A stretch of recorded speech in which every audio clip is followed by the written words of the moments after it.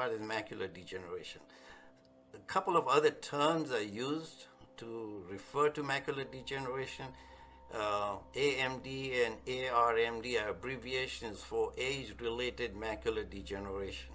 So this is a problem with the macula, and it's often related to age. Older the patient, higher the risk of getting macular degeneration. Hence, the term age-related macular degeneration.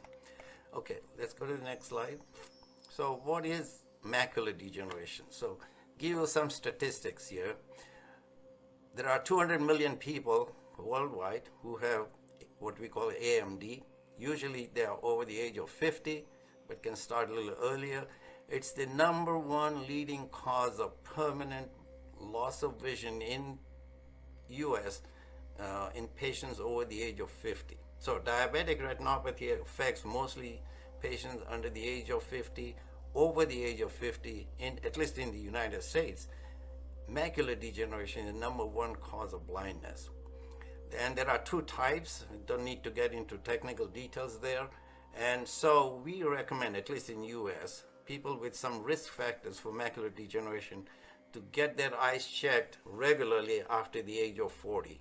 This is not a question about eyeglasses. It's not that they cannot see well the ophthalmologist has to look into the eye and look for very early signs of macular degeneration, which I'll show you in the next slide. Let's go to the next slide. Oh, uh, before I go to that, so what are the risk factors for AMD? Age, like I said, over the age of 50. Caucasian, especially Northern European ancestries, from Scandinavian countries, they are somewhat of a higher risk for getting AMD if there is a family history, if say parents or somebody else in the family has macular degeneration, the family history is important.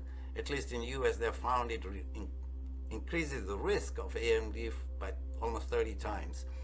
If a person is a smoker, it increases the risk. Diet is important. That increases poor diet uh, in, increases the risk. And if the overall health isn't good, um, high cholesterol levels, uh, excessive weight, all these are risk factors for AMD. But the two most important, or three maybe, is the age, if you're a Caucasian, family history, and smoker, if you're smoking. Okay, let's go to the next slide. So what is AMD, age-related macular degeneration? So here I've got a sequence of photographs to show you the, inside the back of the eye how AMD looks as it develops. So on the left hand side we have this is normal eye, normal nerve, this is the macula, it's pretty clean, nothing is going on. Early stages, I don't know whether you can see it on your screen, but there is very fine, tiny dots in the region of the macula. This is the earliest stage of macular degeneration. As those dots get larger, this is how they look. These are known as drusens. That's where the uh, problem is starting. As these get larger over time, and this can take few years, it does, doesn't happen very quickly, 5, 10, 20 years, extensive amount of damage is happening here. All the white area in the back you see is damaged retina.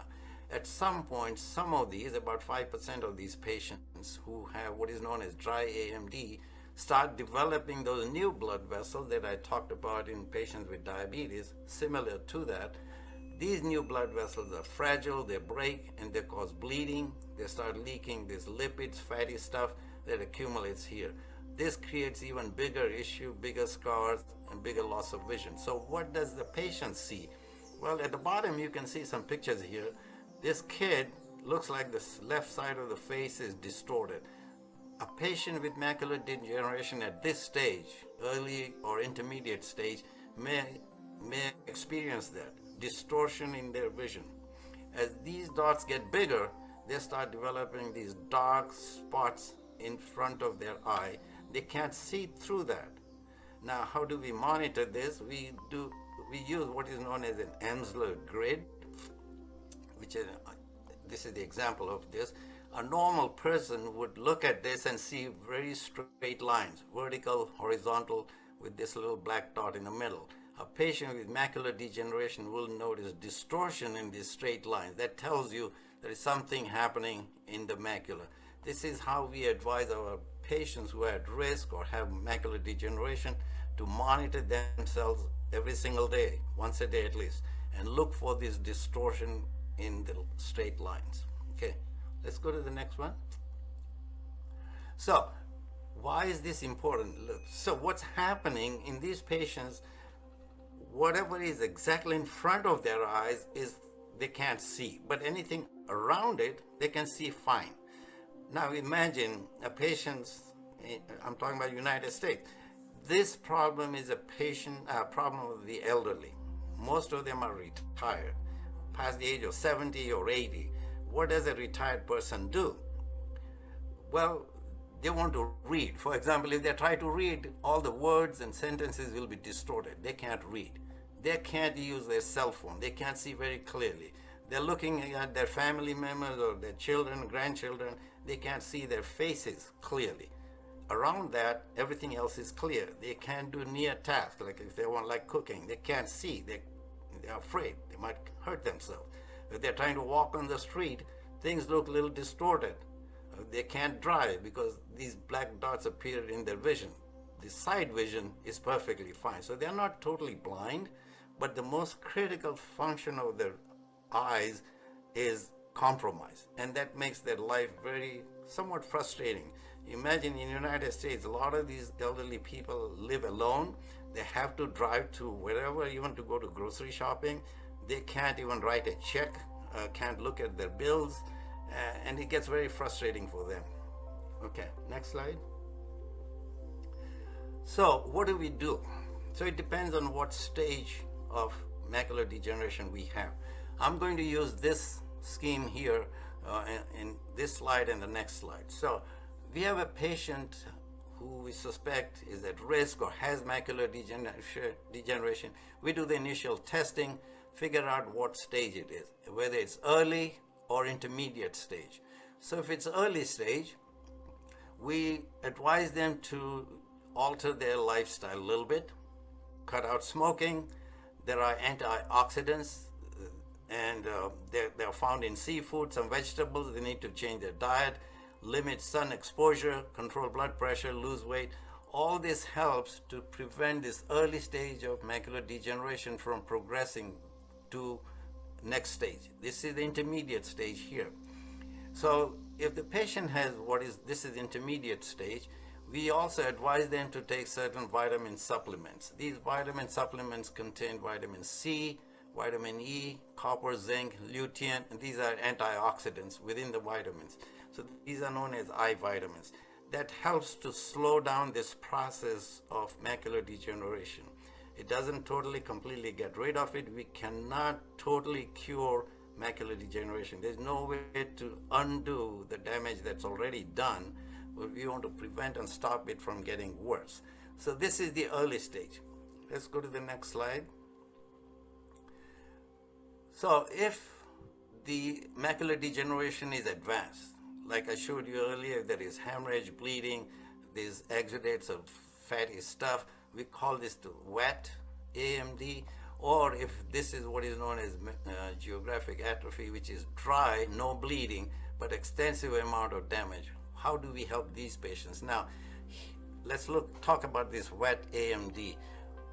As I said earlier, there are new blood vessels causing the hemorrhage. So we want to get rid of those blood vessels, for which we give them anti-VEGF injections. These are injections of medications that prevent these new blood vessels from forming there.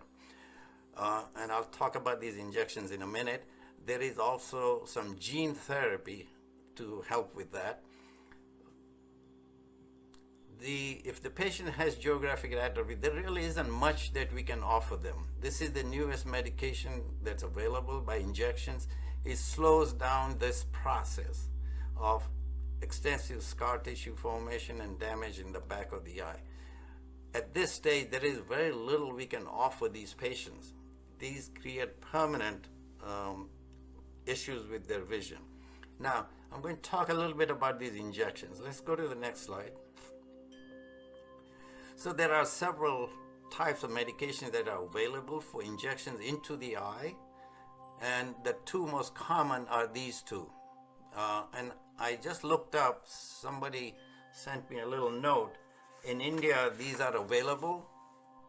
Now, these injections have to be monitored and given very frequently. Uh, that becomes a problem. Next, let's go to the next slide.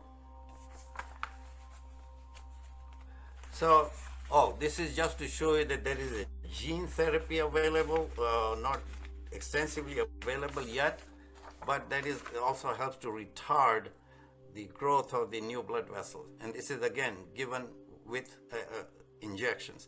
Let's go to the next slide. Now, the problem with these injections into the eye is they have to be given frequently, often every month, sometimes every two months. Patients end up, and then we don't know where to stop. A year later, two years later, we just don't know because if you stop giving the injections, those new blood vessels keep growing. So there's a problem with this. Uh, a lot of patients uh, get tired of these injections. They, they are uncomfortable getting the injections. Fortunately, in the United States, a lot of the insurance will pay for these injections. Otherwise, they're expensive. Actually, yesterday I saw this headline in, in India, Indian Express, and the headline says about these injections, high patient dropout rate because patients stop getting these injections in anti-VEGF therapy due to unaffordable rates. In India, it costs, I don't know, uh, 5, 10, 50,000 rupees per injection. Uh, and also perceived lack of improvement in vision. This is in India. A lot of patients stop getting the injections. Um, and th that's a problem. So in order to get around this issue about frequent injections, they're now starting to um, insert these reservoir. These are known as PDS. Uh, reservoir into the eye where they get these injections every six months or maybe once a year. And this has just been approved recently, so I'm not sure how successful this is going to be. But this will be one way of avoiding the, this these injections. And we run into this problem if the patient doesn't have an insurance and has to pay out of this pocket, it becomes expensive. But that's the only thing that can be offered to patients who have what is known as wet macular degeneration. Okay, let's go to the next slide. So, patients who cannot be helped with macular degeneration, like I said earlier, they have problem reading. They can't do any near task there are all kinds of gadgets available to magnify whatever they're looking at. So uh, this is just to show you different types of magnifying lenses, um, or gadgets, and even computer-assisted generated magnification that, that's available to these patients. We often put them through a rehabilitation process for all this. We train them how to use these gadgets and learn to figure out a way to maneuver their life uh, with this problem. For example, this is a telephone here with very large buttons so they can see them easily. Okay, next slide.